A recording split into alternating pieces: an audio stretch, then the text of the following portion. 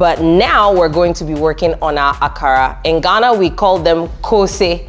You know, it's something that is from the north, a beautiful dish made with beans is one of our staples. Beans are grown in the north all year round, and so it's something that is easily accessible. So this is how the beans look when they are not um, hydrated with water.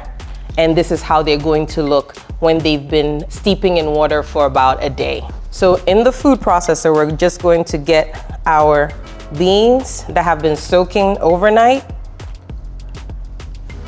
Just pour it right in here, like so. Okay, so we'll give it a pinch of salt. Make sure that it's nicely flavored. We'll add some scotch bonnet. We'll also add our cocoa for garlic. We want all that flavor in there. Also going to add a little bit more sweet and heat with our mango chili sauce. A teaspoon of minced ginger, just like so. And then some pureed onions. And then we'll also add two eggs.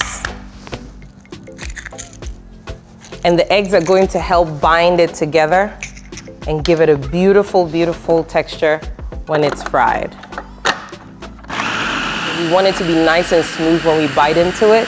You do not want chunks in it. You want it to be a very, very smooth texture.